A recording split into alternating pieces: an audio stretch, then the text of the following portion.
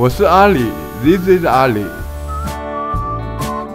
我是 Anna，This is Anna。我们做好吃的哟。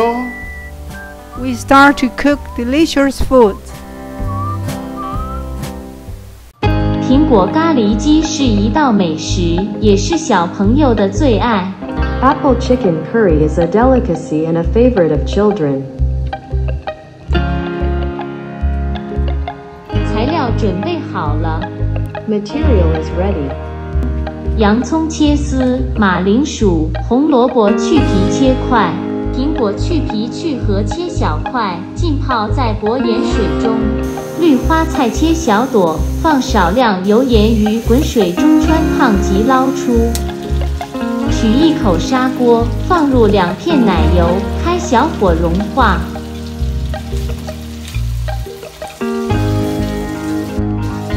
腿肉皮面朝下，放入砂锅，煎出鸡油，煎到两面微黄取出。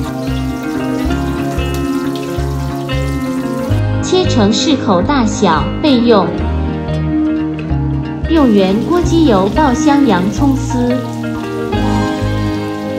放入马铃薯块、红萝卜块翻炒，倒入鸡高汤，转大火煮沸。加入鸡块，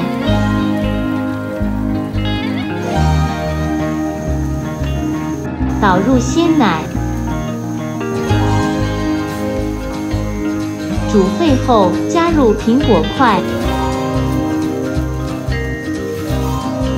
盖上锅盖，转中小火焖煮十五分钟。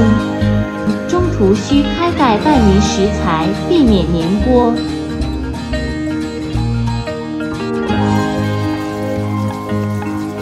取出半盒甜咖喱块，用刀切成碎块，放入锅中拌匀，融化在汤汁中，再开小火炖煮十分钟，让咖喱香味融入食材中。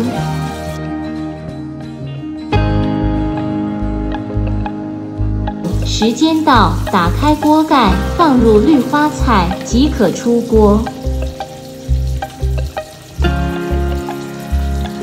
酸甜苹果香，搭配滑嫩的咖喱鸡块，味道美极了。